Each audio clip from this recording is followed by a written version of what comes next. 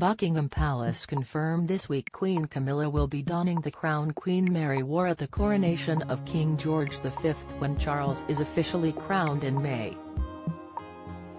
The headpiece will be modernized to fit Camilla's taste and will not include the controversial Koh-i-Noor diamond as its piece de resistance. Jewelry expert Theresa Bailey told Express. The late Queen also avoided donning the stunning diamond because of an ongoing dispute with India but she also warned the gem had been linked to a trend of misfortune among its wearers. The Bradford Exchange creative director said, in contemporary news, the Koh-i-Noor diamond which sits on the Queen Mother's crown is making headlines for its exclusion from the coronation of King Charles by Queen Consort Camilla.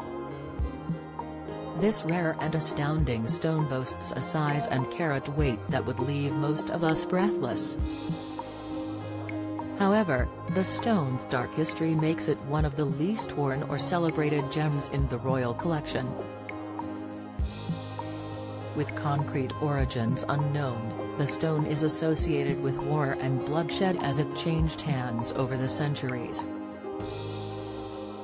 Politically, the stone is part of an ongoing conversation over British possession of foreign treasures and rightful ownership. While the Crown has never offered to return it to any of its claimants, it is not worn because of the dark history of death and loss that has accompanied the wearer. I made Queen Elizabeth's whiskey-infused chocolate mousse and was left disappointed she pointed out that three of the last four queen who wore the diamond had suffered a series of misfortunes that to this day still influenced the superstitious members of the royal family. Bailey said, having been acquired by Queen Victoria during her reign, every queen that has worn the jewel has lost her husband and at least one child during her lifetime. This trend of misfortune was enough to keep Queen Elizabeth II from wearing it and now Camilla has also decided to respect the superstition and is rejecting it as a part of her regalia.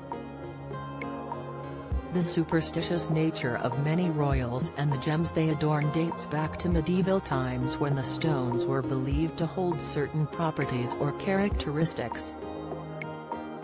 Kate's sapphire ring not just decoration as gem part of royal superstitious history indeed, Queen Victoria famously lost her beloved husband Prince Albert in 1861 and spent the rest of her life in mourning.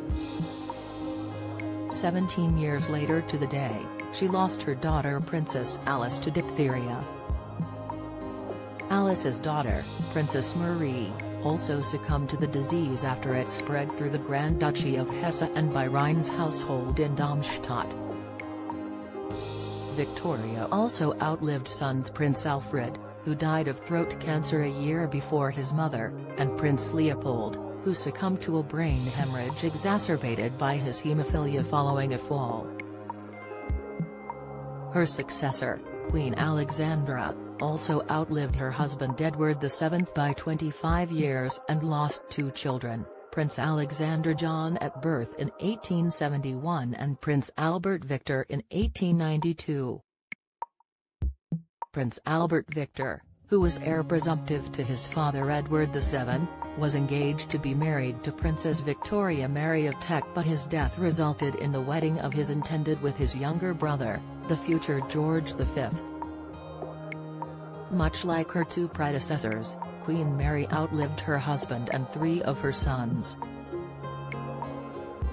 Her youngest boy, Prince John, died aged 13 after spending the majority of his life shielded from the public due to a condition that caused him severe seizures. Her second youngest, Prince George, the Duke of Kent, was the first senior member of the royal family to die while in active service with the RAF after his plane crashed during a non-operational flight in Scotland. And Mary also survived George VI, the father of the late Queen Elizabeth II.